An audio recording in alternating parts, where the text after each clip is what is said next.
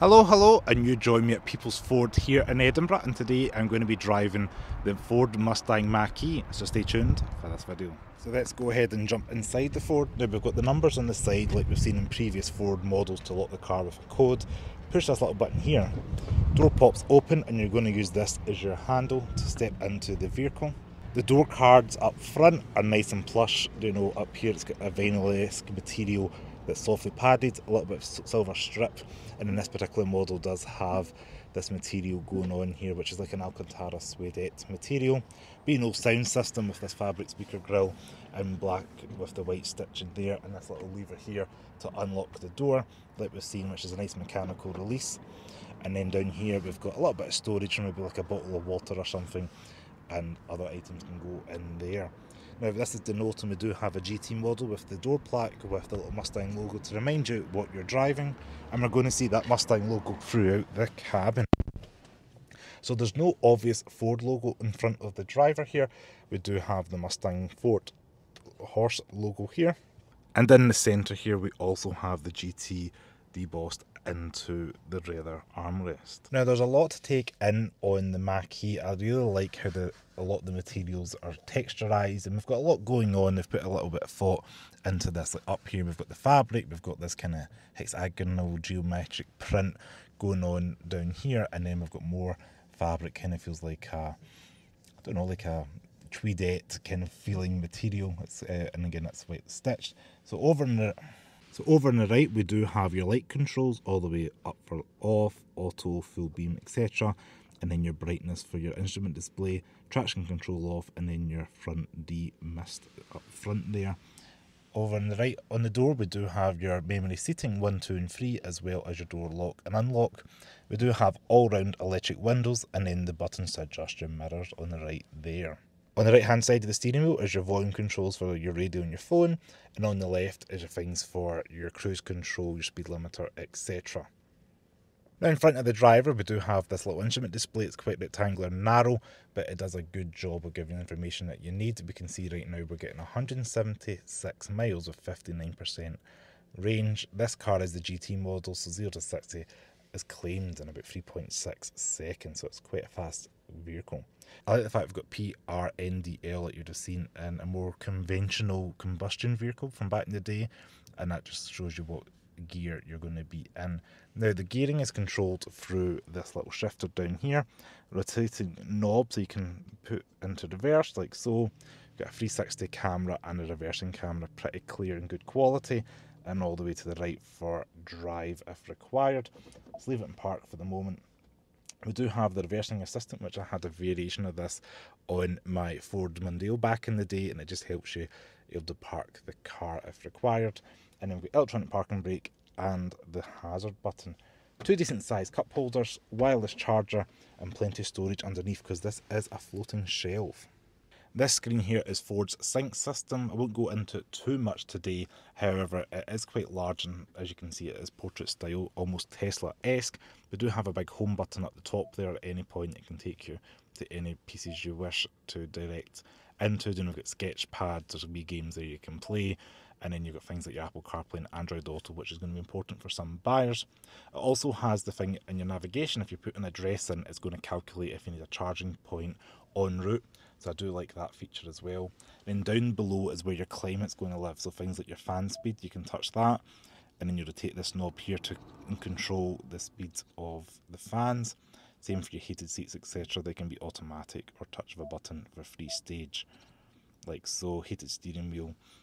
And then up here is where you can control your airflow I quite like the infotainment graphic as well. You can see with the direction of air going through the cabin, and you've got the option again for things like your front electric window defrost, which is a nice, neat touch for our winters here in the UK.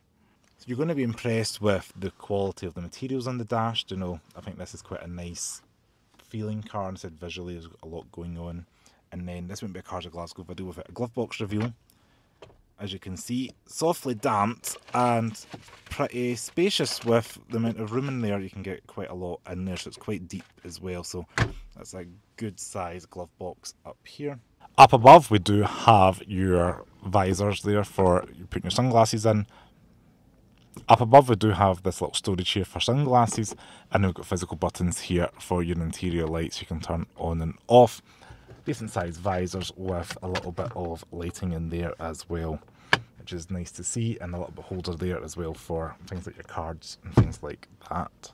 What I quite like as well is when you open the door your legs aren't going to get dirty because the bottom of the door goes around the sill so when you step out your legs are not going to catch any of the mud out from the winter road.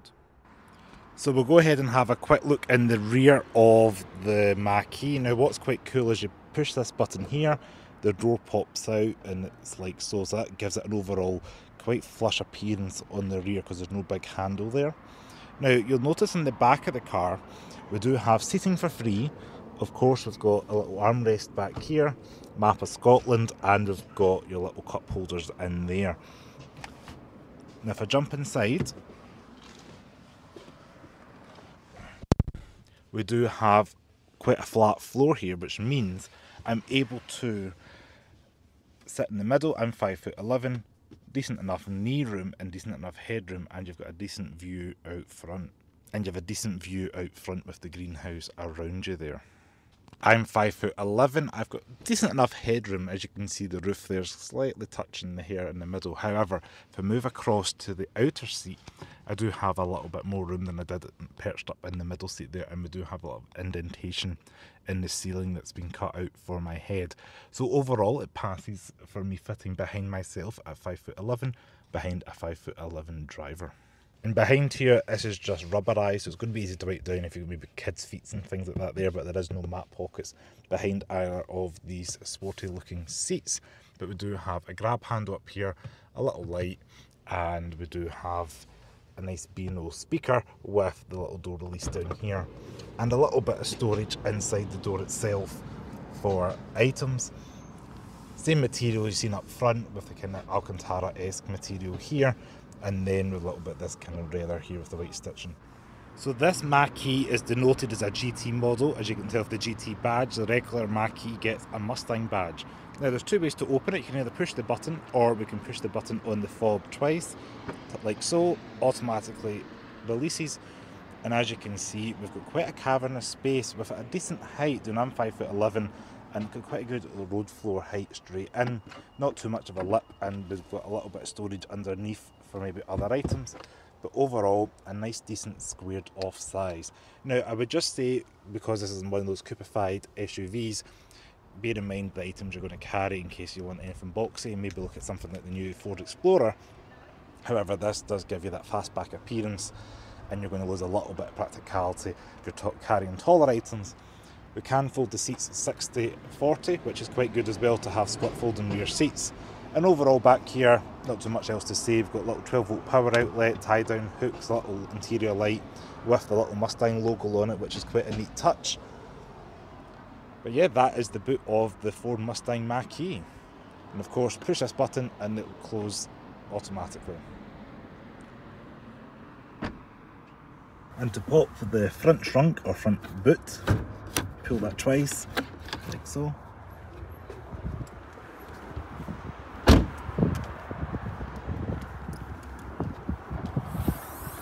And we've got a decent size front boot up here well. It does have a little child escape here, so if you happen to lock somebody in here, they can push that button to get out. And we've got the Mustang. Fairly weatherproof, so I think that's going to be ideal for putting charging cables, wet dog leads, whatever it may be. And also you've got your washer flat there. So alright, we're driving the Mach-E GT. Now just set it off into drive and let's see how we get on. So first thing off the bat, the steering is nice and light, you know, with the around town driving. Quite easy just to get myself into the car and go. I like the visibility out front as well. Set up quite high, probably kind of the height you'd expect of maybe a Ford Kuga or Toyota RAV4 or something like that. I'm a little bit taller than the T-Roc Volkswagen in front of me today. Now suspension in this car, although we're riding on quite large alloy wheels, is actually riding fairly compliant and comfortable. It was a lot more comfortable than I was expecting and a little bit more comfortable than some of the other EV crossovers that are performance orientated that I've drove recently. The brakes are definitely good there, just had to put them on.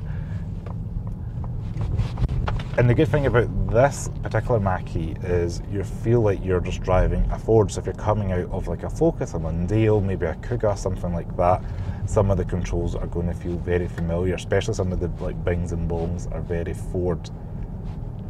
Now out with that, I do like the fact that, you know, the punchy acceleration you get from an EV is very smooth and the power delivery is what you'd expect. Now this GT model is the performance top of the range variant, so you are going to see around 480 brake horsepower, 634 pound-feet of torque, and you're going to get about 320 miles of range claimed on the performance model.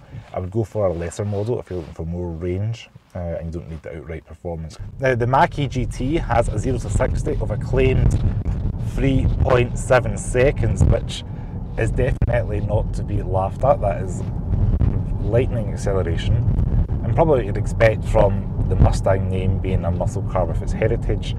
Now, this car is achieving around 3 miles per kilowatt hour today, which is pretty alright in fairness, considering it is a performance model. I would probably expect closer to 4 if I was driving one of the more energy efficient variants. But overall, it's a decent car, and this particular vehicle is on offer at the moment with People's Ford. So if you are interested in picking up a Mach-E, it's worth having a nosy to see what they can do for you. Um, the kind of person I expect to buy this is maybe somebody coming out of another Ford. These vehicles are also on mobility, so if there's anything you need the car adapted for, that can happen as well, along with the Ford Explorer's also mobility. And yeah, overall, it's a good punchy EV.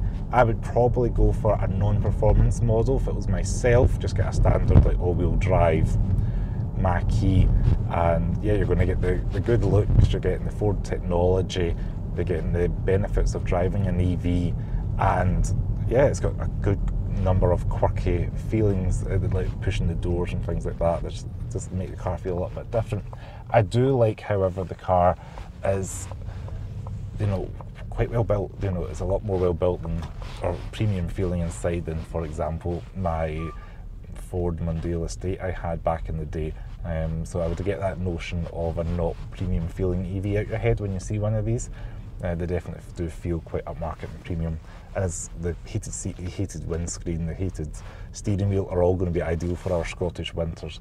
Um, so yeah, thank you so much for watching this video on the Ford Mustang Mach-E GT. It's been a joy to bring it to you and yeah, just a quick drive of this car. Thanks to People's Ford in Edinburgh for loaning me this car and I will see you next video. Any questions, comment below and I will see you soon. Thanks for watching. Ciao.